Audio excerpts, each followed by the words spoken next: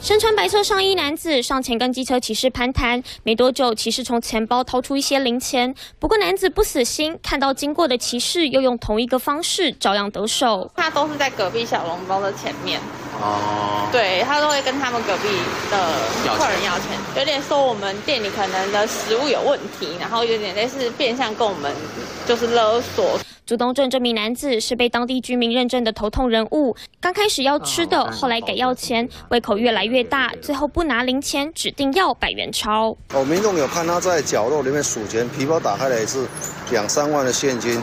啊，前早上八点我也看过他在角落数钱，的确他皮夹的现金是蛮多的量。被多人直击，他钱包打开，里面塞满上万元台币，被当地民众称作“富翁行气”。充到足够的钱，还会去邮局换新钞，顺便吹冷气睡觉。社会处补助很简单，只要身份证输输入哈，如果你有家产的话，你在某种额度下，社会局是不会给你补，不会给你审查中低收入户，因为他有房。